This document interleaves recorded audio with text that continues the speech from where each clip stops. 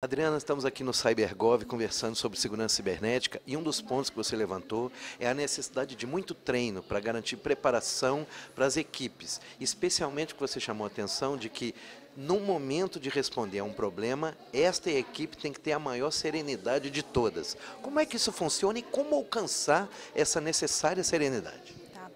Eu acredito muito que tudo a gente precisa ter um ambiente bom para trabalhar. Então, o que, que a gente faz lá na ANEL? A gente provê esse ambiente, a gente provê essa capacitação. Então, os nossos profissionais, eles são capacitados para esse tipo de atendimento e, além de tudo, a gente consegue fazer o quê? Consegue manter uma boa... A gente consegue blindar, consegue manter um bom ambiente de trabalho. Aí o, o profissional se torna o quê? Se torna uma pessoa calma para atacar aquele problema de verdade. Ele não vai precisar fazer uma articulação com a alta direção direção, nem com os seus usuários. Essa articulação é feita pelo time de TI e ele fica lá, tranquilo, fazendo o seu trabalho. Por quê?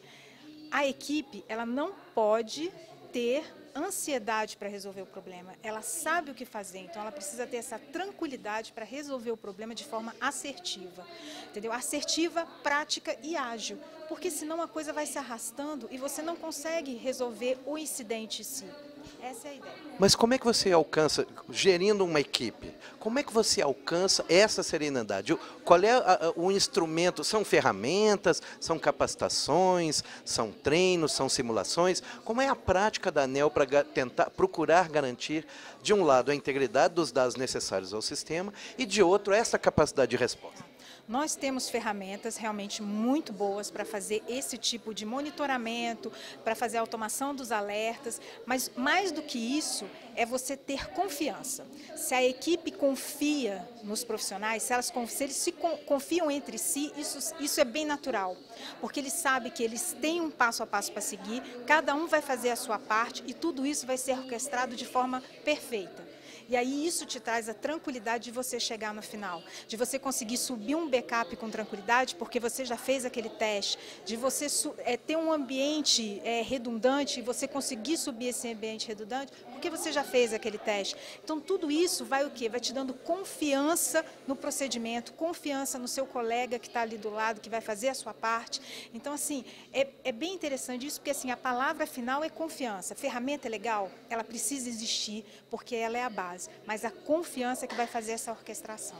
E, finalmente, como é que você consegue, nesta necessidade de manter essa serenidade, essa capacidade de uma equipe, envolver as outras áreas, ou seja, não necessariamente a equipe de TI, mas necessariamente toda toda organização, de alto a baixo, de alguma maneira precisa estar envolvida. Como é que se eh, captura, eu diria, inclusive a alta administração, a alta gestão, para participar, digamos, para não comprometer essa serenidade necessária?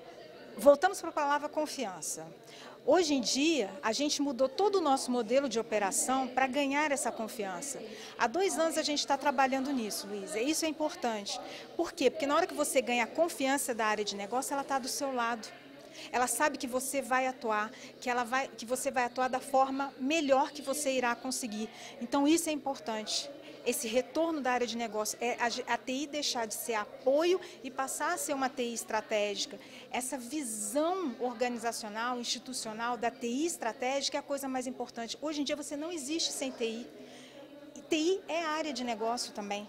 Então a gente tem que pensar nisso e fazer com que as áreas de negócio, as outras áreas de negócio, as, as áreas fins que a gente chama, trabalhem isso e confiem na TI como área de negócio também. Nós estamos do lado delas. É um trabalho a quatro mãos. Isso é que é importante.